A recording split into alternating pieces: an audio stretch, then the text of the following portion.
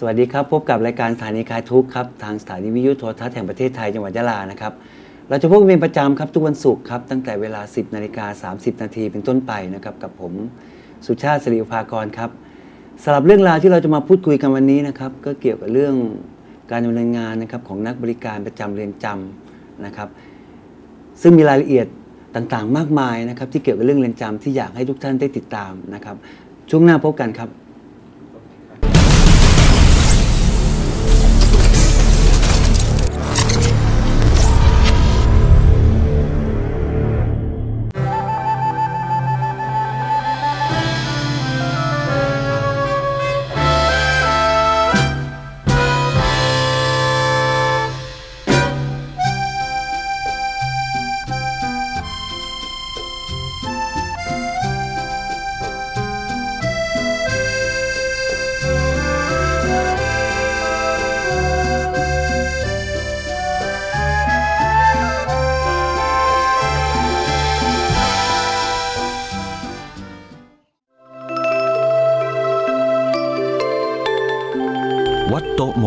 ช่จะมีความสำคัญแค่เพียงที่ประกอบศาสนกิจ ของผู้ที่นับถือศาสนาพุทธในเขตนิคมสร้างตนเองสุกิรินอำเภอสุกิรินจังหวัดนราธิวาสเท่านั้น แต่ที่นี่เป็นศูนย์รวมจิตใจไว้อย่างเหนียวแน่น เพราะการก่อตั้งวัดดำเนินการตามพระราชประสงค์ ของสมเด็จพระนางเจ้าพระบรมราชินีนาถเพื่อเป็นที่พึ่งพาทางใจของพระสงฆ์นิกรในพื้นที่ดังกล่าว และยังเป็นที่ทรงงานของพระองค์ทุกครั้ง ที่เสด็จพระราชดำเนินทรงเยี่ยมราษฎร และทรงติดตามงานศิลปาชีพ ย้อนไปเมื่อปี 2520 สมเด็จพระนางเจ้าพระบรมราชินีนาถได้โดยเสด็จพระราชดำเนินตามพระบาทสมเด็จพระเจ้าอยู่หัว เพื่อทรงเยี่ยมราษฎรในเขตนิคมสร้างตนเองสุขิรินทรงทราบว่าที่นี่ยังไม่มีวัด จึงมีพระราชประสงค์ให้ก่อตั้งสำนักสงฆ์ขึ้น เมื่อปี 2521 ท่านเสด็จมาที่ นี่ก็เลยก็มีกลุ่มชาวบ้านที่มารวมกันปรึกษาหารือกันก่อน ก็เลยท่านเสด็จมาก็เลยก็พวกเรามาอยู่นี่ ยังไม่มีที่พึ่งทางใจวัดวาอารามของเราก็ไม่มีแล้วเราก็มาอยู่ที่ชนแดนด้วย คืออันถ้าหากไม่มีพึ่งทางใจ ก็พวกเราก็จะอยู่กันไม่ได้ เริ่มแรกกับพศ 2521 ก็เริ่มสร้างวัดกันมา ท่านก็ได้ให้อนุญาตให้พระชายธรรมยุทธ์มาจากจังหวัดร้อยเอ็ดมาด้วยกันมีห้าลูกเนียนหนึ่งลูก ก็ดีใจนะครับ ที่สมเด็จท่านอนุญาตให้ตั้งวัด เนี่ยที่ทั้งหมดก็ที่อนุญาตให้ตั้งสร้างวัดขึ้นมาเนี่ยก็จำนวน 530 ไร่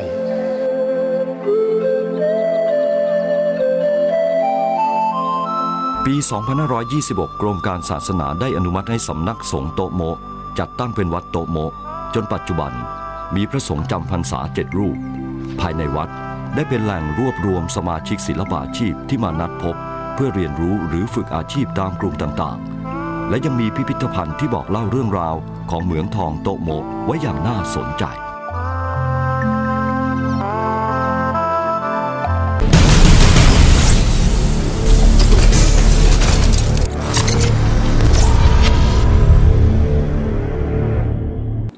นะครับพบกับรายการสถานีขายทุกต่อนะครับผม ที่เราพูดกันตั้งแต่ช่วงแรกนะครับก็คือเรื่องการดำเนินงานนะครับของนักบริการประจำเรือนจำนะครับซึ่งรายละเอียดต่างๆนะครับที่เกี่ยวกับเรือนจำเนี่ยหลาย ๆ ท่านฟังแล้วอาจจะไม่เคยเข้าใจนะครับ วันนี้จะได้เข้าใจนะครับ วันนี้เราได้รับเกียรตินะครับจากน้องนักบริการประจำเรือนจำจากเรือนจำกลางจังหวัดปัตตานีนะครับ น้องบัสตีสาลีครับผมสวัสดีครับสวัสดีค่ะ มาจากเรือนจำถามเลยนะครับคำแรกเลยค่ะนะครับ ว่าที่มาที่ไปเนี่ยมายังไงครับอ่า ในตำแหน่งของนักบริการประจำเรือนจำใช่ไหมคะใช่ครับพอดีว่าในช่วงตอนประมาณกลางปี 2556อะค่ะครับผมเขาทางสำนักยุติธรรมเนี่ยเขาเปิดรับสมัครตำแหน่งนักบริการประจำเรือนจำกลางปัตตานีซึ่งว่างอยู่หนึ่งตำแหน่ง แล้วฉะนั้นช่วงที่เราอ่าเพิ่งจบเรียนจบใหม่ๆ แล้วได้เข้าไปในเว็บไซต์ของ SB Pack ของสบตค่ะ ครับผม ได้เห็นว่าเออเปิดประกาศว่าเออเขามีประกาศเนี่ยนะ แล้วมันส่งตรงกับตรงกับสาขาที่เราเรียนน่าจะ ลองสมัครดูนะ ก็เลยครับผม ก็เลยยื่นใบสมัครอะค่ะ ครับผมแล้วพอมาอยู่เอ๊ะถ้าฟังชื่อเนี่ยนักบริการประจำเรือนจำเนี่ย บทบาทหน้าที่ที่เราทำอยู่ทุกวันเราทำหน้าที่อะไรบ้างครับ ค่ะในส่วนตำแหน่งของนักบริการ ชื่อตำแหน่งก็บอกแล้วเป็นนักบริการครับก็คือเราก็จะอยู่ในส่วนของประชาสัมพันธ์ของเรือนจำเราจะเป็นหน้าร้านของเรือนจำเลยค่ะครับผมเวลาญาติที่เข้ามาเยี่ยมผู้ต้องขังเนี่ยคือเขาจะตรงดิ่งมาหาเราจะเจอเราคนแรกเลยค่ะครับผมเราก็จะมีการแนะนำให้เขานะอ๋อนี่เพิ่งมาใช่ไหมคะ เดี๋ยวเนี้ยเอ่อเดี๋ยวเอาบัตรประชาชนนะคะ เดี๋ยวเนี้เราจะทำประวัติให้เพราะทุกครั้งที่จะเยี่ยมผู้ต้องขังเนี่ยเราต้องญาติต้องมีประวัติอยู่ในระบบของเราก่อนนะคะ เดี๋ยวมากันกี่คนนะคะ เราก็จะถามเขาอะค่ะเขาก็จะเออนี่มากันสี่คนเดี๋ยวขอบัตรประชาชนนะคะเราก็จะทำประวัติให้อะค่ะ ก่อนหน้านี้นะครับถามนะครับว่าก่อนหน้านี้เนี่ยเคยมีไหมครับ ประชาสัมพันธ์ที่มานั่งแบบนี้เนี่ยอ่าก่อนหน้านี้จะเป็นเจ้าหน้าที่ของเขาอะค่ะ เจ้าหน้าที่ของเขาบางส่วนก็จะเป็น อ่าบางอาจจะสื่อสารกันไม่ค่อยรู้เรื่องด้วยด้วยของภาษาหรือว่าาาพื้นที่บ้านเราก็เป็นมาลายูส่วนใหญ่ก็จะเป็นมุสลิมหลายคน แล้วบางเจ้าหน้าที่บางคนอะซึ่งคือเหมือนเขาก็จะเข้าใจนะ ว่าญาติต้องการแบบนี้แต่เขาจะสื่อสารกันไม่ลงตัวทำให้มีขัดแย้งกันบ้าง แต่ว่าก็แก้ไขปัญหา แต่พอเราไปอยู่ตรงนั้น เราสามารถสื่อสารด้วยภาษามาลายู หรือว่าภาษามาเลที่มีชาวมาเลมาติดต่อและติดต่อเราเอาอะน้องบัสตีนี่พูดภาษามาเลได้ด้วย ไม่ไม่ไม่ไม่ชัดอะค่ะ แต่ว่าได้อยู่ค่ะ คือหมายว่าพอจะสื่อสารได้ สื่อสารได้ค่ะ แล้วในส่วนของนักบริการประจำเรือนจำนะครับ ที่มาจากสปตเนี่ยต้องยิ้มตลอดเวลาไหมอ่าก็ประมาณว่า service mind ค่ะ แล้วก็จะแบบอ้าวคำถามแรกคือช่วงที่เขามาเนี่ยเขาจะมาเห็นเรา คือเราก็ต้องยิ้มก่อนครับคือให้รู้ว่าเออเรามีมิตรไมตรีกับเขานะเขา คือเหมือนเข้ามาเขามีความกังวล ใช่ คือความคิดของเขาคือ อะไรฉันไม่รู้อะไรคือฉันไม่เคยมาเรือนจำอะไร คือในความคิดของเขาเรือนจำเป็นสิ่งที่ไม่ดี ใช่ ไม่มีใครอยากจะมาเขามีความกังวล พอเรามาปุ๊บมาเจอเรา พอเราแบบต้อนรับเขาด้วยรอยยิ้มเขาอุ้ยคือโล่งเออก้านี่มีปัญหานี่นะคือเนี้ยคือหแบบลายๆคนนะครับพอพูดถึงเรือนจำเนี่ยน่ากลัว ใช่ใช่มันเขาค่ะ เอ๊ะ มันจะเป็นยังไงใช่เจ้าหน้าที่จะเป็นยังไงใช่แต่พอได้มาจริง ๆ แล้วเนี่ยในส่วนของนักบริการประจำเรือนจำทุกๆวันที่เราทำงานเนี่ยงานหลักๆเลยเราเราทำอะไรบ้างอ่าหลักๆในเลยหลัก ๆ ของเราคือจะบริการประชาชนที่เข้ามารับบริการครับอ่าแล้วก็งานฟังก์ชันที่เป็นงานฟังก์ชันของเรือนจำเนี่ยหรือว่าหน้าที่ประจำของเราก็จะเป็นรับแจ้งเยี่ยม รับแจ้งเยี่ยม ใช่ค่ะ รับแจ้งเยี่ยมแล้วก็ให้คำปรึกษากับญาติที่มาติดต่อราชการครับค่ะ ก็ในส่วนของการมาเยี่ยมเนี่ย ครั้งแรกที่เขามา เราก็จะถามเขาว่าเขามาเยี่ยมใคร มากันกี่คนอะไรอย่างนี้ แล้วก็อ่าเวลาอะไรก็เราจะแนะนำให้เขาก่อนว่าครับประจำเรามีเวลาเนี่ยเหมือนตอนเช้านะคะ เรา8ปดโมงครึ่งถึง 11บเอ็ดโมงครึ่งแล้วก็ช่วงบ่ายบ่ายโมงถึงบ่ายสองครึ่งนะคะ ก็ต้องมาเวลานี้นะเอ่อเดี๋ยวมากันกี่คนสี่คนใช่ไหมเอาบัตรประชาชนมาเลยค่ะ ทุกครั้งที่มาติดต่อราชการเนี่ยต้องพาบัตรมาด้วยนะคะเนี่ยเขาก็โอเคโอเคก็ ก็ก็แจ้งชื่อเราแจ้งผู้ต้องขังชื่ออะไรคะแล้วก็จัดคีย์ข้อมูลกับระบบอะค่ะว่าเอาผู้ต้องขังชื่อนี้นะเอ่อมาเยี่ยมท่านนี้แล้วก็จะแจ้งเยี่ยมไปเดี๋ยวให้ญาตินั่งนะคะ เดี๋ยวเราจะประกาศเรียกรอบนะคะอย่างเนี่ยเคยมีไหมครับคนที่มาติดต่อเนี่ยพูดไทยไม่ได้เลยอ่ามีค่ะมีมีมันมันส่วนใหญ่ก็จะเป็นเคสของคนแก่ครับแก่ก็จะสิบกว่า หรือไม่ก็เป็นของชาวมาเลหรือว่าพม่าพกัมพูชาแบบนี้จะมีต่างด้าวมาติดต่อเหมือน เหมือนต่างด้าวเนี่ยบางทีเราอาจจะไม่มีล่ามแต่เราสามารถพูดสื่อสารว่าเออใช้ไม้ใช้ท่าท่าท่าคือทีใช้อะไรมือแบบนี้ใช่ครับใช้ท่าทางของเราไปคุยกับเขาแล้วก็ในสวนมาเลเราก็สามารถพูดได้บางคำบางประโยชน์ แต่ว่ามันอาจจะไม่ได้ไหลลื่นแต่ก็พอสื่อสารกันได้อะค่ะ แต่เหมือนของมาลายูเราก็จะพูดมาลายู กับกับเมาะเออเมาะมาเยี่ยมแต่เงาะปิยอนี่เออมาเยี่ยมใครคะเนี่ยเมาะแบบว่าเออมาแต่เงาะจูจูมาเยี่ยมล้าอะไรเงี้ยค่ะครับก็จะก็จะทำให้เขาได้โล่งว่าเอออย่างนั้นเขาก็ไม่ต้องพูดทองแดงหรือว่าพูดให้มันเสียความมั่นใจแล้วก็กล้าที่จะพูดว่าเออกล้าที่จะบอกว่าเราเขาต้องการอะไรอะค่ะ การเยี่ยมของเรือนจำเนี่ยเยี่ยมได้ทุกวันไหมครับค่ะของในส่วนของขั้นตอนการแจ้งเยี่ยมของเรือนจำเราสามารถเยี่ยมได้ทุกวัน แต่ว่าเยี่ยมได้วันละครั้งวันละผู้ต้องขังครั้งหนึ่งคนจะ จะต้องถูกเยี่ยมได้วันละหนึ่งครั้งครับผมอ่าแล้วก็อ่าครั้งละไม่เกิน 5 คนครับผมค่ะ เราอนุญาตให้ญาติเข้าไปได้ไม่เกิน 5 คน แต่ว่าในระบบของเราอะจะสามารถเก็บข้อมูลของญาติได้แค่ 10 คน คือมันเป็นระเบียบเลยค่ะว่าญาติที่จะมาเยี่ยมอะต้องมีในระบบมีประวัติในระบบเราไม่เกิน 10 คน ครับ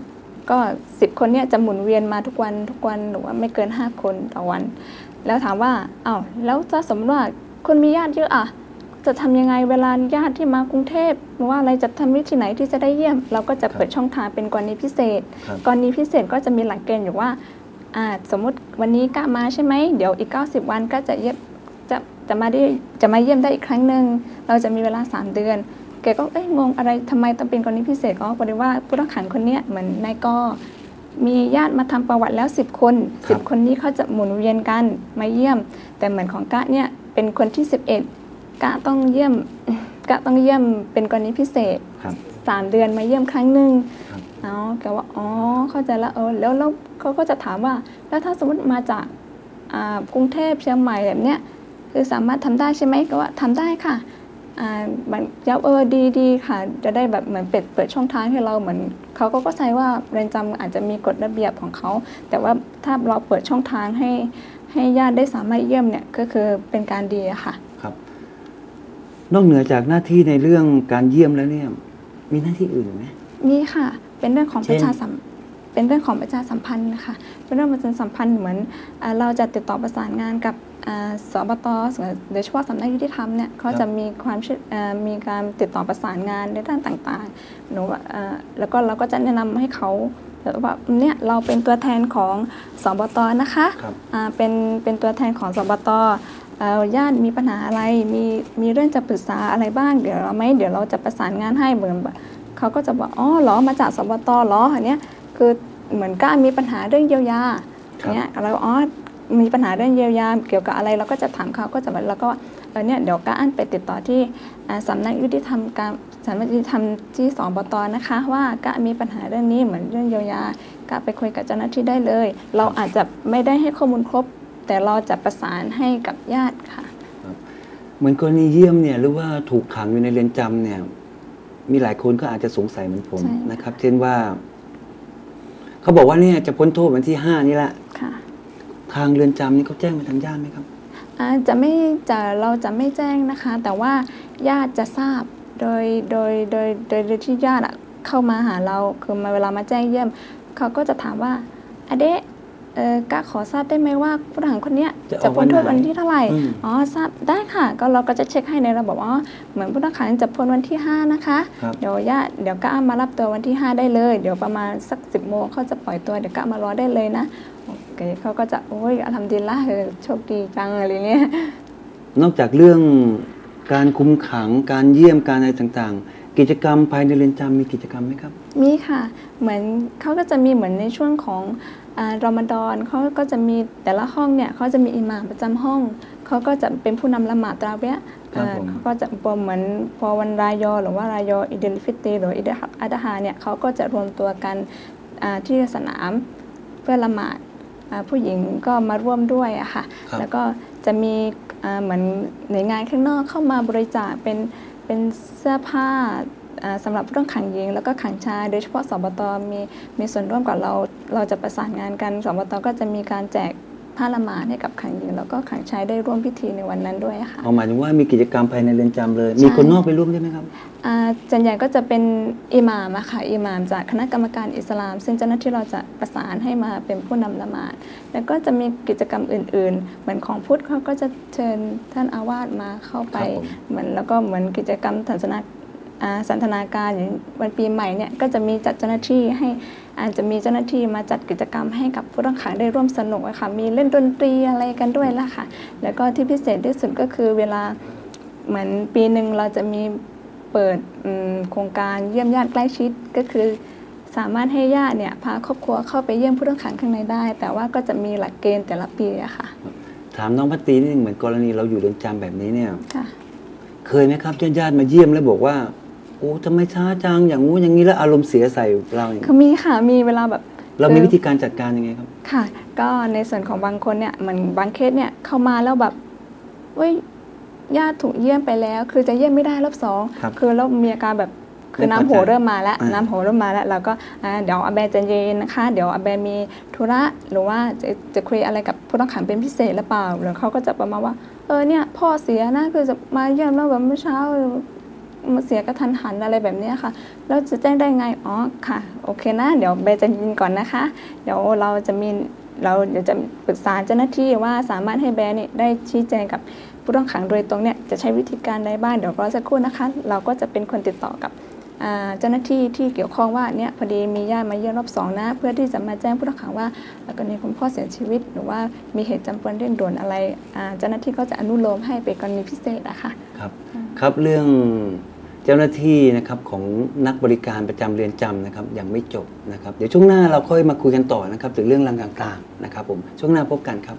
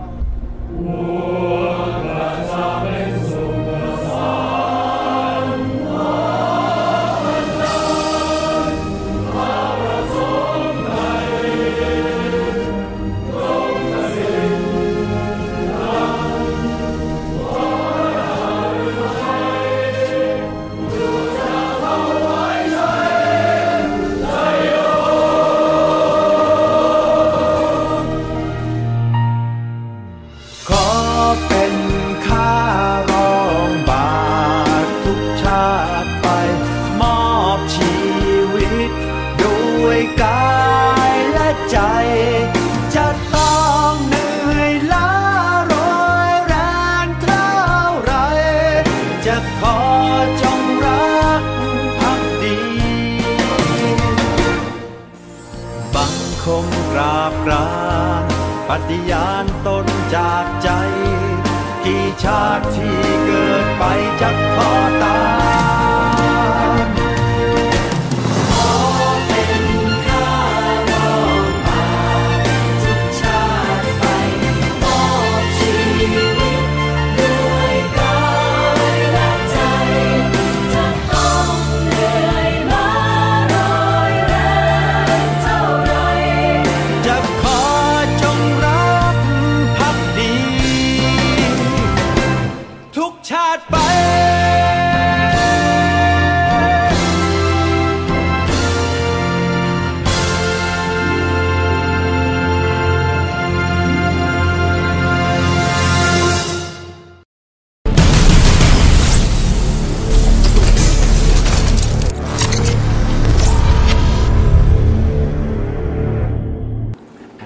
นะครับตอนนี้ทุกท่านนะครับยังอยู่ในรายการสถานีคลายทุกข์นะครับทางสถานีวิทยุโทรทัศน์แห่งประเทศไทยจังหวัดยะลานะครับหรือว่า NBT นะครับยังคุยค้างอยู่กับน้องบัตตีสาลีนะครับน้องนักบริการประจำเรือนจำกลางจังหวัดปัตตานีนะครับในการทำงานที่ผ่านมาเนี่ยมีมีอะไรที่รู้สึกว่าประทับใจไหมค่ะอยากให้น้องเล่านิดหนึ่งค่ะ ก็ตลอดเวลาที่ผ่านมานะคะ ในช่วงอ่าการทำงานในเรือนจำก็นับอืม เป็นเวลา 3 ปี 6 เดือน 27 วันตั้งแต่วันนี้นะคะจำแม่นเลยนะครับใช่ค่ะ แล้วก็บางอย่างมันมีความประทับใจหลายๆอย่างนะคะ มันมี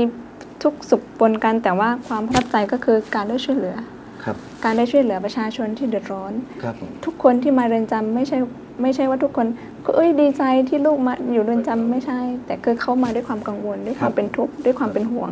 เราต้องรับด้วยความ service mind ก็คือยิ้มให้เขาก่อน ไม่ว่าจะด้วยเหตุผลอะไรที่เขามา เราต้องยิ้มให้เขาก่อนต้องถามเขาก่อนว่า เป็นอะไรมาเยี่ยมใครคะเขาก็จะแบบ อืมคือภูมิใจในตัวเราแล้วคืออย่างในเขาแบบอืมมีเจ้าหน้าที่ยิ้มให้เขาแล้วเขาสามารถคุยได้ทุกเรื่องแน่เลยกับอันนี้ มีเคสแล้วไหนประทับใจบ้าง เหมือนเคสที่เหมือนเคสล่าสุดที่ภูมิใจมากก็คือมีเหมือนมีหม้อเหมือนยายอะค่ะ คืออายุเกับ 70 ปีแล้วครับมาเยี่ยมผู้ต้องขังอ่าเดินทางมาจากสระบุรีพูดไทยได้ไหม พูดไม่ได้ค่ะ ครับเดินทางมาจากสายบุรีมาครับกับรถเมย์ครับผมลงรถเมย์นั่งรถมอเตอร์ไซค์รับจ้างมาถึงเรือนจำครับ มาถึงปุ๊บบอกเจ้าหน้าที่ก่อนเลยว่าเมาะไม่มีบัตรประชาชนนะ ครับคือประมาณทำหน้าแบบเฮ้ยเราก็แบบอืมคือเขาก็บอกว่าเขาไม่มีบัตรประชาชนเขาลืมบัตรประชาชนไว้เขาสลับกระเป๋าเขารีบมา ครับ เขาสามารถเยี่ยมลูกได้ไหม แต่ว่าตอนนั้นนั้น คือเราก็อยู่ข้างๆกับพี่คนหนึ่งคือเจ้าหน้าที่ที่ที่ประจำประจำเรือนจำอะค่ะคือเขาเขาก็ก็เข้มงวดในระเบียบของเขานะคะเขาว่าไม่ได้นะครับ คือถ้ายายจะมาเยี่ยมเนี่ยยายต้องไปคัดเป็นอ่าใบแทนของสำเนาบัตรเนี่ยคือมายืนยันนะครับ คือแล้วคือประมาณว่าเมาะเขาก็อ่าเมาะก็เขาแบบประมาณว่าคือไปไม่ได้แล้วอะรู้สึคืกอเหแบมืบอนยากคือยากแล้วอะแล้วเราว่าตอนนั้นก็กำลังบริการคนอื่นอยู่ไม่ทันได้ไปช่วยเดี๋ยวทีนี้ เดี๋ยวทีนี้หันไปดูอีกทีเอาเมาะไปแล้ว ก็เลยเข้ามาโอ้ยพี่เมื่อกี้มีเมาะมาติดต่อที่เขาไม่มีบัตรใช่ไหมใช่ แต่ว่าไม่รู้ตอนนี้ไปไหนแล้วเฮ้ยคือแต่รู้สึกว่าเฮ้ยยังไงว่ารู้สึกผิดจงคือแบบคือไม่ช่วยเขาอะคือทั้งทั้งที่เขาอายุมากแล้วครับก็เลยแบบอะไปตามเขามาดีกว่าครับให้คนไปตามเขาเขาก็ก็ยังอยู่ในบริเวณก็คือเชิญให้เข้ามาว่าเออเมาะเนี่ยวันนี้คุยกับเจ้าหน้าที่แล้วนะ คือเราเป็นคนติดต่อประสานเองว่าพี่คะหนูขอหน้าคนนี้คือเรา เป็นการอนุโลมเป็นกรณีพิเศษก็แล้วกันเขามาเดินทางมาไกล แล้วก็เขาอายุมากเลยด้วยครับพี่ก็ว่าโอเค ตามที่น้องเข้าใจเลย ตามที่น้อง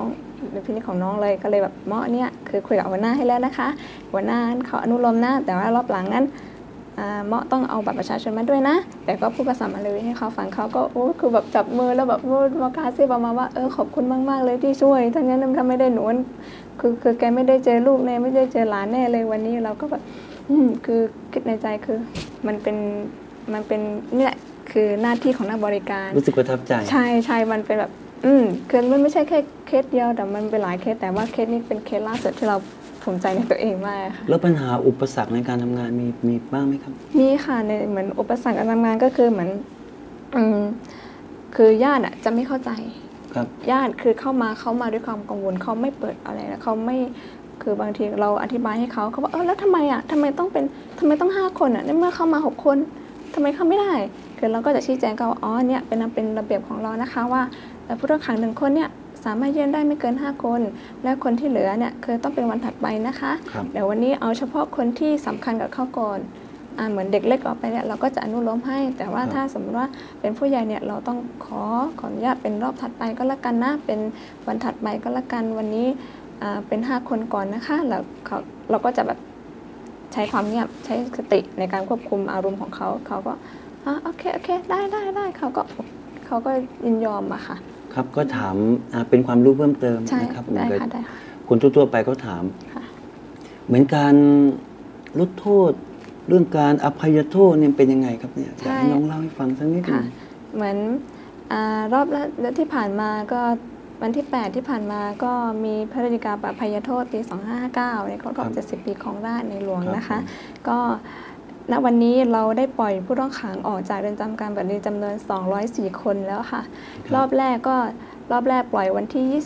27อ่าสิงหาคมประมาณ 101 คนนะคะครับแล้วก็รอบที่ 2 วันที่ 7 กันยายนที่ผ่านมาจำนวน 76 คน แล้วก็รอบที่ผ่านอ่า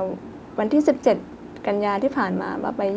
20 27 คนนะคะ ก็รวมกัน204 คนแต่โดนผมว่ามันเป็นมันเป็นความภูมิใจมากที่แบบ อืมคือมันเป็นความปิติยินดีที่ในหลวงทรงเห็นความสำคัญของระบบอของ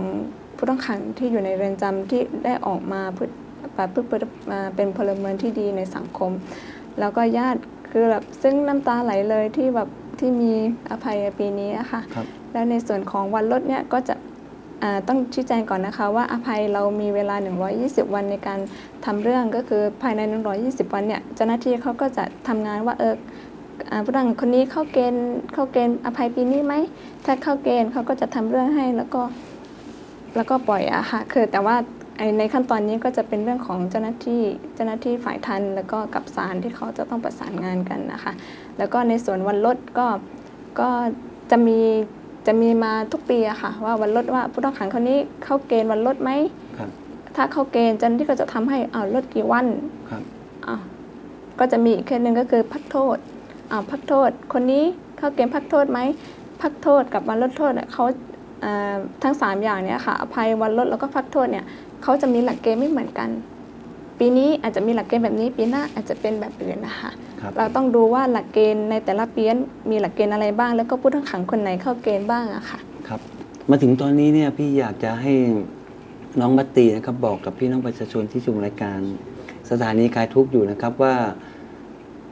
น้องประจำอยู่ตรงไหนยังไง ชื่ออะไรเป็นเจ้าหน้าที่ยังไง มีหน้าที่ยังไงเนี่ยผ่านทางรายการสักนิดนึงได้ค่ะค่ะอ่า ดิฉันนางสาวบัสตีสารีนะคะ นักบริการประจำเรือนจำกลางปัตตานีอ่าก็จะอยู่ในอ่าตึกแจ้งเยี่ยมเลยค่ะ จะอยู่ช่องที่ 2 ก็จะมีพี่อีกคนหนึ่งนะคะ อยู่ช่องที่1อ่าคือเข้ามาติดต่อกับเราได้เลย เราจะมีนามบัตรเป็นของเป็นป้ายแขวเป็นนไว้ป้ายแขวนครับเนี่ยเป็นเป็นเป็นป้ายแขวนของเราว่าเออเรามาจากสบตนะคะ เป็นตัวแทนของสบตในการรับเรื่องจากประชาชนครับประชาชนมีความเดือดร้อนอะไร มีคำปรึกษาอะไรมาศึกษาเราได้ในส่วนที่ เราสามารถให้บริการได้หรือว่าถ้าเราไม่สามารถให้บริการได้ เราจะส่งต่อให้กับคนที่มีอำนาจหรือว่ารับเรื่องโดยตรง นักบริการประจำเรือนจำเนี่ยมีทุกเรือนจำไหมครับอ่าใน 3 จังหวัดของเรามีทุกเรือนจำอะค่ะมีปัตตานียะลานราธิวาสสงขลานาทวีเบตงเนี่ยเคยมีทุกจังหวัดนะคะในพื้นที่ 3 จังหวัดชายแดนภาคใต้ก็เอ่อของสงขลาด้วยอีกหนึ่งจังหวัดนะคะครับอ่า สำหรับนักบริการประจำเรือนจำนะครับที่เหมือนที่บอกนะครับบางทีเอ๊ะเราไปที่เรือนจำเนี่ยเราไม่รู้จะไปติดต่อใครยังไงนะครับอย่างน้อยๆก็มีเจ้าหน้าที่ของทางศูนย์อำนวยการบริหารจังหวัดชายแดนภาคใต้นะครับที่ส่งไปประจำนะครับก็คือนักบริการประจำเรือนจำถ้าในส่วนของเรือนจำกลางปัตตานีก็คือน้องบัตตีสาลีนะครับวันนี้ก็ต้องขอขอบคุณนะครับน้องบัตตีสาลีนะครับนักบริการประจำเรือนจำกลางจังหวัดจังหวัดปัตตานีนะครับที่มา ให้ความรู้แล้วก็ให้ ทราบถึงบทบาทต่าง ๆ ว่าเอ๊ะอยู่เรือนจำเราทำอะไรกันบ้างขอบคุณมากครับผมค่ะขอบคุณค่ะครับ หากท่านใดนะครับมีปัญหาที่อยากจะให้เราคลายทุกข์นะครับ ก็สามารถจะส่งปัญหาของท่านนะครับ มายังสำนักสารสนเทศ และประชาสัมพันธ์สปตนะครับหรืออาจจะโทรศัพท์มาที่ 1880นะครับสำหรับวันนี้นะครับผมแล้วก็ทีมงานสถานีคลายทุกข์แล้วครับน้องน้องบัตตีสาลีด้วย ต้องขอลาไปก่อนนะครับ พบกันใหม่ครั้งหน้าครับสำหรับวันนี้สวัสดีครับ